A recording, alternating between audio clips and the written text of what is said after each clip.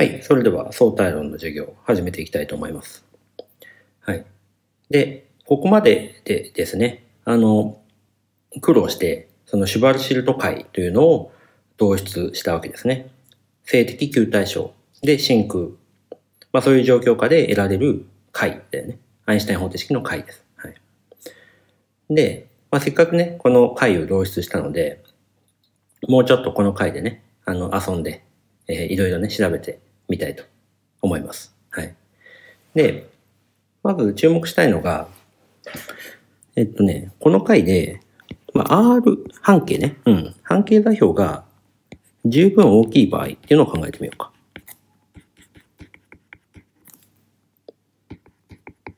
うん。まあ、つまり、R が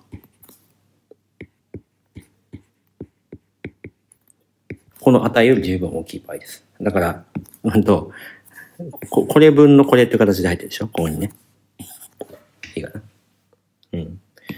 で、この時って、まあ今丸で囲った場所って無視できるじゃない？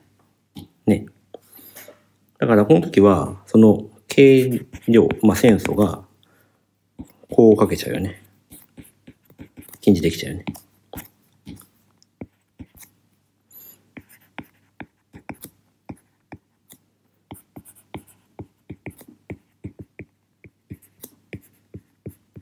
うん。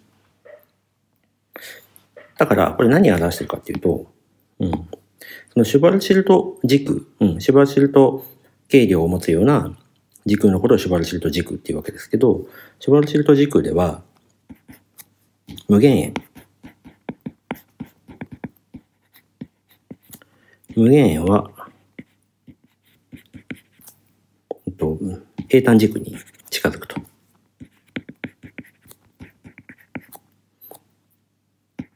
まあ、中心から離れると平坦軸に前進していくよと。そういうことですね。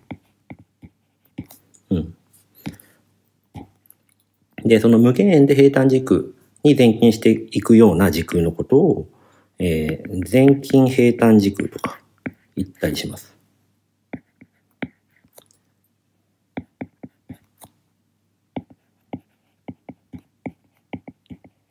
うん。だからシュバルシルト解っていうのは前近平坦時空の一種ですね。はい。うん。だからまあ R、まあ半径が、まあ、中心から遠ざかるほど、その、まあ平坦時空に近づいていくと。うん。だから、まあ逆に言うと、まあ中心に近づくにつれて、その時空が歪んでくると。うん。まあそういうような状況になってるなというのは、まずわかりますよね。うん。まあ、もっともらしいですよね。うん。なんかこう、中心に、例えばまあ、星なり、まあ、ブラックホールなり、なんかあった時に、まあ、離れれば離れるほど、もう、重力なんて関係ないと。うん。だけど近づくと、その重力の効果が顕著になってくると。まあ、そういうことですね。はい。で、まあ、次に注目したいのは、まあ、その特徴的な半径がありますね。この計量を見ると。えー、特徴的な半径。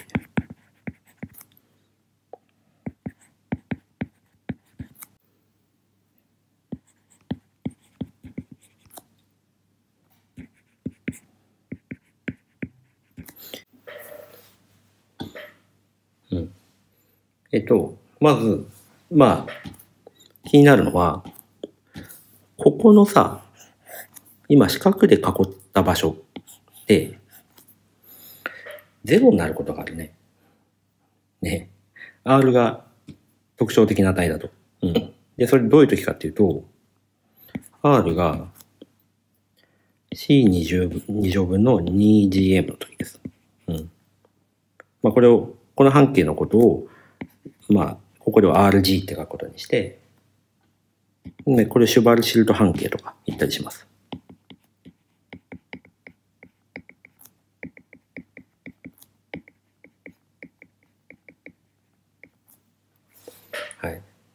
シュバルシルト半径。うん。で、この R がこの値になると何が起きるかっていうと、この時は、G の00、007ね。007は、まあ、0に行くし、いいかな？今見たのここね。うん。ここは0に行くでしょ？この半径に近づいていくと。うん。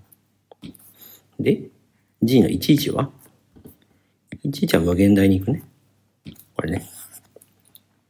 0分の1に連近するのでね。うん。ということで、まあその、まあ R が RG っていうところでは、えー、まあなんか変なことが起きてるというのはまずわかると思います。はい。うん。で、実は、この半径はブラックホールの表面に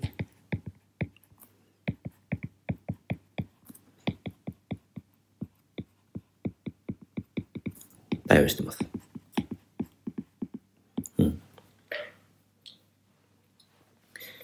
えっと、まあ、この講義でどこまでいけるかわからないですけど、その、まあ、その、この半径がブラックホールの表面に対応するっていう、その、えー、一旦は見ることができます。はい。後で説明します。はい。いかななんか特徴的な半径 RG っていうのがあって、はい。で、その半径で、えー、まあ、形状がまあ、発散すると。成分がね。うん。そういうせなとそ、そういうことになってると。で、実はその半径っていうのがブラックホールの表面に対応していると。いうことになってます。はい。で、もう一個だけど、R が0っていうのも、まあなんか特徴的な半径の値ですよね。うん。R が0って、この時どうなるかっていうと、G の00っていうのが発散するね。ここはね。一方で、これはこれは0に行くね。R を0に持っていくとね。だから G の11は、まあ、0に行くみたいな。うん。まあ、こういう点があります。はい。で、この点は、ブラックホール中心、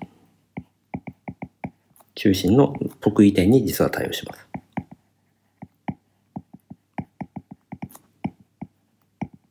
はい。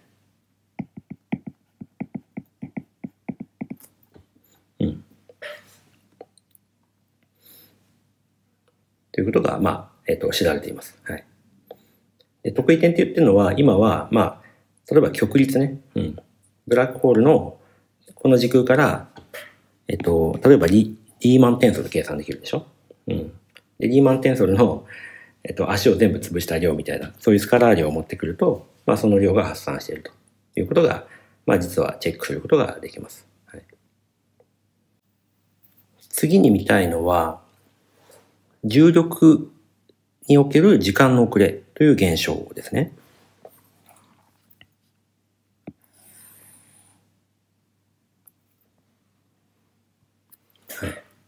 重力による時間の遅れと。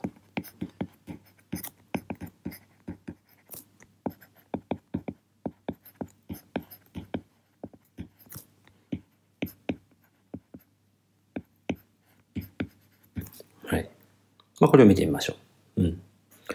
今なんか、こう、球体小時空があって、まあなんかじゃあ、球体小の星があるとしようか。ね。まあブラックホールでもいいです。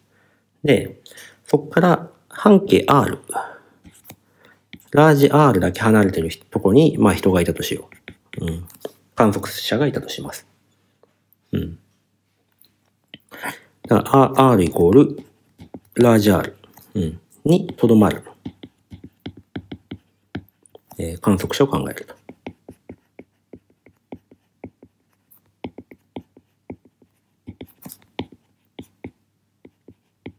はいまあ、とどまってるんで、ね、とどまってるんで、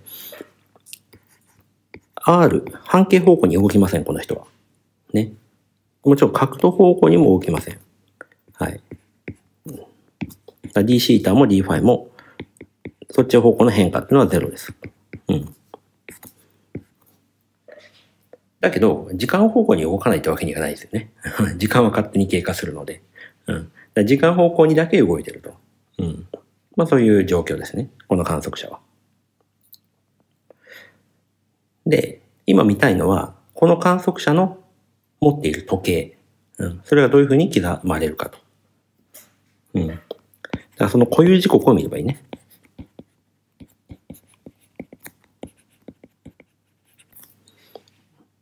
まあ、固有時間は、えっと、うん、固有時間はって言われたら、うん、固有時間はって言われたら何を思い出すんでしたっけと。うん、言うと、うん、まあだいぶ前だったと思いますけど、まあこれを思い出せって言ったよね。うん。まあこれが定義なんで。はい。あここに書けばよかったね。えっと、こっちに書けばよかったですけど、d タウ2乗がマイナス c2 乗分の ds2 乗と。うん。で、もちろん、この ds2 乗は今、シュバルシルト解ね。だから、まあ、こう書いちゃおうか。うん。えっと、RG って、あの、さっき定義したやつね。うん。RG って、シュバルシルト半径です。うん。これね。はい。まあ、これ、この、シュバルシルト半径使うと、ここが単純に R 分の RG になるから、まあ、シンプルに書けるよね。うん。はい。で、今、まあ、ここに、本当はスモール r なんだけど、その、今、オブザーバーの位置は、ラージ R だとしてるので、うん。ラージ R 分の RG。で、C、DT 2乗と。これだね。で、当然、まあ、こういうの本当あるんだけど、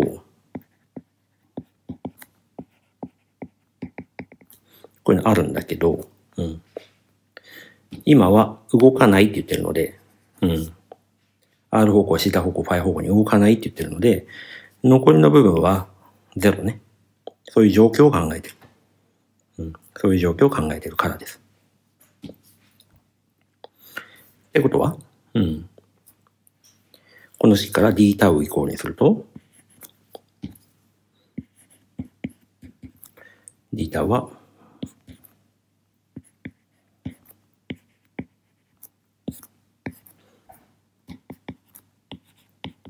これですね。はい。まあ、こういう時刻。この、えっ、ー、と、半径 R にいる人の持っている時計の刻みと、まあ、座標値での刻み。うん。っていうのがこういう関係にあるというのが分かったわけです。うん。で、重要なのは、ここは負ですね。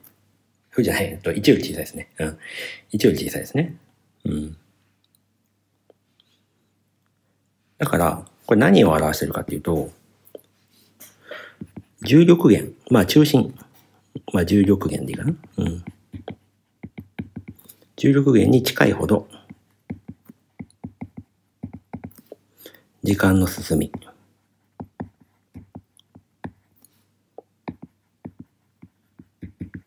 進みは遅くなると。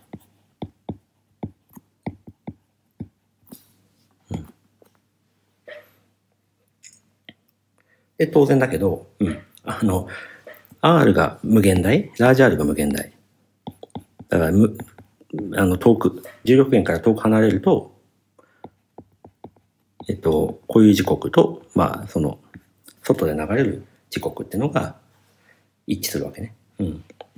だからある意味で、まあ、この関係式っていうのは、無限の観測者と、ね、無限の観測者と、その、まあ、ブラックホール、まあ、重力源の近くにいる観測者、うん、その時計の進みの関係を表しているというふうに見なすこともできます。うん。なので、まあ、まあこう星があってさ、星があって、まあすごい遠くに地球が、まあ重い、これ、これはまあじゃあブラックホールでいいわ。うん。ブラックホールがあって、で、ここにいる人と太郎くんがここにいて、二郎くんがこっちの方にロケットで飛んでって、まあ、で、しばらくここに留まってから帰ってくると、ここにしばらく留まってから帰ってくると、えー、まあ、二郎くんは、そのブラックホールの近くでブラックホールの近くで、その、まあ、時間を稼ぐというか、あの、あまり年を取らないので、太郎くんに比べてね。うんいいかな。ここっち次郎くんね。こっち太郎くんね。うん。なので、まあ、そのブラックホールの近くに旅をしてきた次郎くんは、まあ若いと。うん。まあそういう結論になるわけね。うん。はい。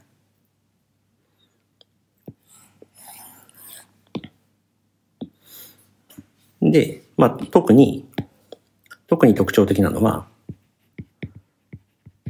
まあ、ラージ R が RG、うん、に、まあ、全近。だから、その観測者がほとんど RG の近傍に来ちゃったときね。うん。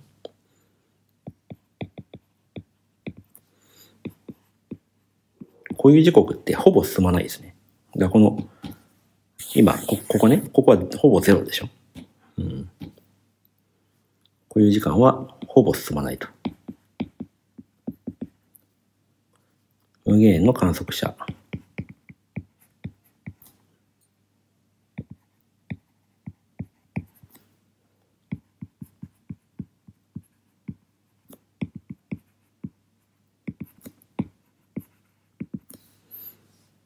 の、まあ、固有時刻に比べて、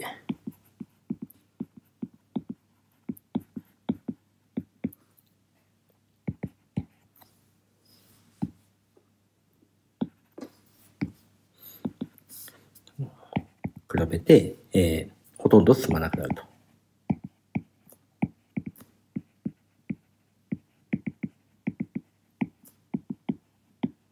うん。ということですね。はい。まあそういうこともわかるよね。うん。こういう時刻を見てあげるとね。うん。で、まあその、だから、重力源から離れた人の方が、まあ年を取るわけだね。うん。重力源から離れた人の方が年を取る。まあそりゃそうなんですよ。あのそりゃそうって言ってるのは、僕らは測地線を求めるときにさ、うん。その、測地線に従うものは、固有時刻を最大化すると。まあ、最大化するものを、えー、即死線と呼ぶことにしたわけだよね。うん。で、重力に離れてる、まあ、こう重力圏があって、こっからすごい遠くにいる人って、まあそこに留まってるだけで、もうほぼ即地線じゃん。ね？そこに、ね、そこでずっとふわふわふわと浮いてても、まあ重力に引っ張られて中に落ちることって、まあ十分時間経たないとさ、このブラックホールに落ちていかないでしょ？うん。だからここにいる人ってのは、まあ、ほぼ即死線に従ってると思っていいわけです。だから、えっと、こ、こいつが、あの、こいつの固有時刻が、まあ、最、ほぼ最大であると。で、一方で、ここら辺に留まってる人っていうのは、あの、全然即死線に、あの、沿ってないじゃない。うん。ほっとくとこの人はブラックホールに落ちちゃうでしょ。うん。だから、まあ、この人の時計っていうのは全然即死線に従ってない。この人は全然即死線に従ってない。つまり、こういう時刻は全然最大化されてない。うん。なので、ここっちのブラックホールの近くにいる人の方が若いと。まあそういう結論になるわけね。うん。だから、原理として、即死線の、まあ、えっと、満たすべき、まあ、性質から、まあ、あの、直感的にも理解できるよねと。まあそういうことです。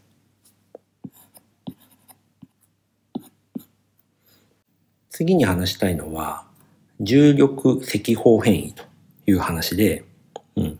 まあ、ブラックホールの近くから、まあ、その、シュバルツシルト軸で、まあ、光をね、外側に飛ばしたら、その波長なり振動数ってどう変化するんですかというのをちょっと話したいと思います。まあ、重力赤方変異。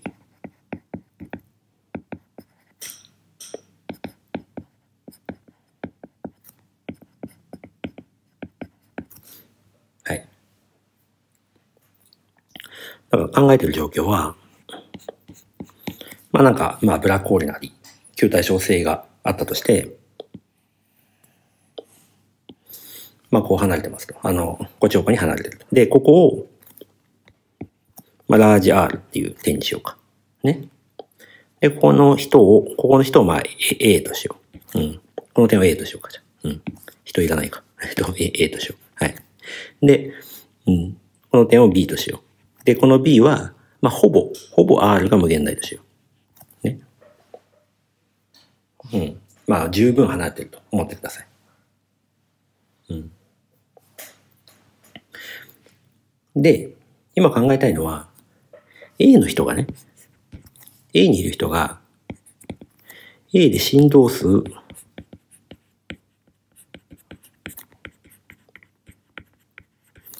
FA、FA の光を、まあ B に向かって送ったとしよ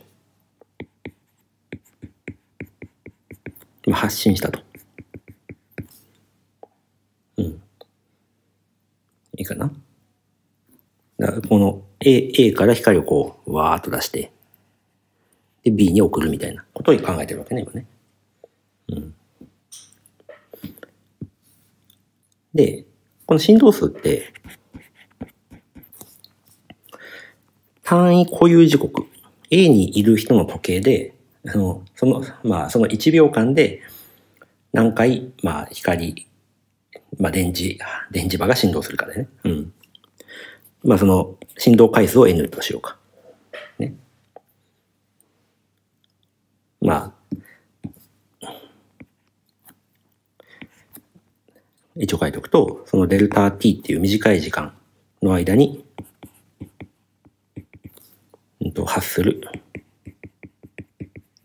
まあ、光の波長。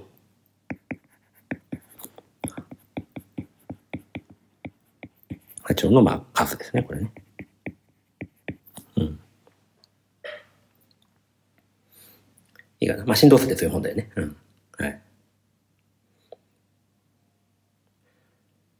いいかな。うん。ただまあ特徴的なのは、その、あの、A での固有時刻で測るということです。はい。で、ここでさっきの結果を使うと、このデルタ t と、デルタタウとデルタ t の関係が分かってて、これは1マイナスあ、R、ラージ R ですね。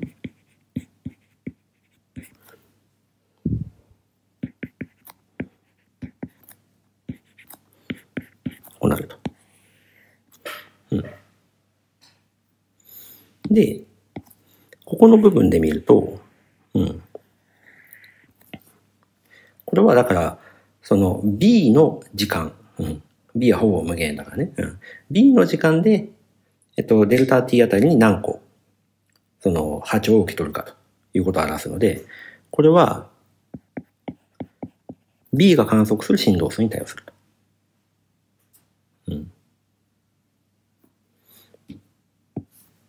いうふうに見ることができるね。よって、B が観測する振動数っていうのは、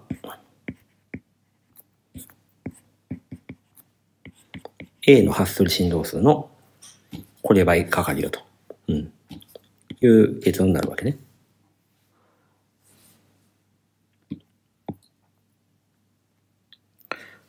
なので、まあこれが、まあさっきと同様で1より小さいので、ね。その無限円では、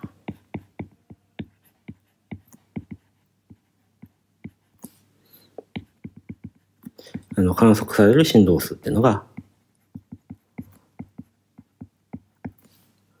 がまあ小さくなると。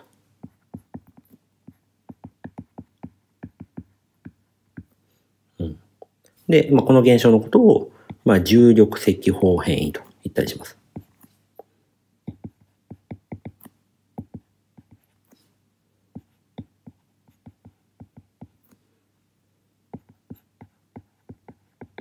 はい。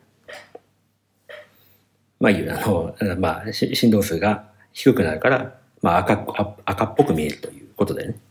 波長が長くなるんでね。うん、で、まあ、極端な場合考えてみると、もうこの A さんが、ポイント A にいる人がほとんどもうブラ、あの RG、うん、このすごい近傍だったとすると、この時は FB ってほぼゼロじゃん。ね。うん。これ何意味してるかっていうと、その R イコール RG っていう、まあその面、うん、その面の近くから光を送ろうとしても、その光は、まあ、観測されないわけね。そういう意味で、まあ、光さえも、えっと、脱出できないと。